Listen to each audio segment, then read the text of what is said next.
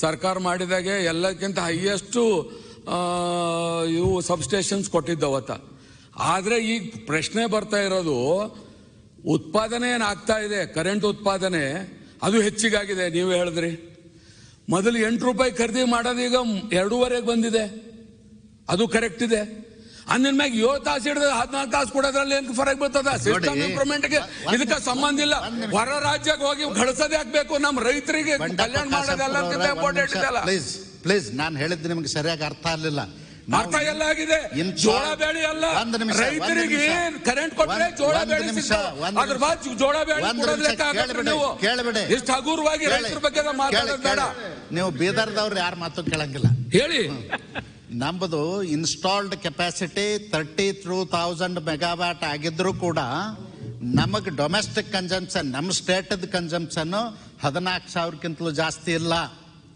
ಹದಿನಾಲ್ಕು ಸಾವಿರಕ್ಕಿಂತಲೂ ಜಾಸ್ತಿ ಆಗೋದಿಲ್ಲ. Maximum fourteen thousand five hundred ಆಗ್ಬೋದು. ಅದಕ್ಕಿಂತಲೂ ಹೆಚ್ಚಿಗೆ ನಮ್ಗೆ ಬೇಕಾಗೋದಿಲ್ಲ.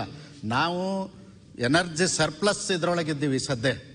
ಅದಕ್ಕೆ ರೈತರಿಗೆ ಯಾಕೆ ಕೊಡಲ್ರಿ ಅಂತ ಕೇಳ್ತಾ ಇದೀವಿ ಅದು ಹೇಳ್ರಿ ನಾನು ಹೇಳ್ತೀನಿ ಕೊಡ್ರಿ ಬಾ, ಬೇಡ ನಮಗ. ಅಲ್ಲಿಗೆ ಬರ್ತೀನಿ. ಅಷ್ಟಕ್ಕೆ ಹೇಳಿ ಕೂಡ್ರಿ ಕೂತ್ ಬಿಡ್ರಿ. ಕೂಡ್ರಿ ನೀವು ನಾವು ಅಲ್ಲಿಗೆ ಅಲ್ಲಿಗೆ ನೀವು ಅಷ್ಟೇ ಹೇಳ್ಕೊಡ್ರಿ ಸುಮ್ಮನೆ ನೀವು ಮಾತಾಡೋದ್ ಬೇಡ ನಾವು ಮಾತಾಡೋದು ಇಲ್ಲ ಬೇಡ ಹಾಗೆಲ್ಲ ಹಾ. ಏನ್ ನೀವೇನು ಉತ್ತರ ಕೇಳಿದ್ರಲ್ಲ ಹೌದು ಅಷ್ಟೇ ಹೇಳ್ರಿ ಈಗ ರೈತರಿಗೆ ಯಾಕೆ ಕೊಡ್ತೀರಿ ಕೊಡಲ್ರಿ ಅಂತೀರಿ ಹೌದು. ನಿಮ್ಮ ಹತ್ರ ಸಾಕಷ್ಟು ಉತ್ಪಾದನೆ ಆದ್ರೂ ಯಾಕೆ ಕೊಟ್ಟಿಲ್ಲ ಅಂದ್ರೆ ಹಾ, ಹಾ. ಸಿಸ್ಟಮ್ ಇಂಪ್ರೂವ್ಮೆಂಟ್ ಇಲ್ಲ ಅದನ್ನ ಎಕ್ಸ್ಪೋರ್ಟ್ ಮಾಡ್ಲಿಕ್ಕೆ ಲೈನ್ಗಳಿಲ್ಲ ಆಯ್ತು.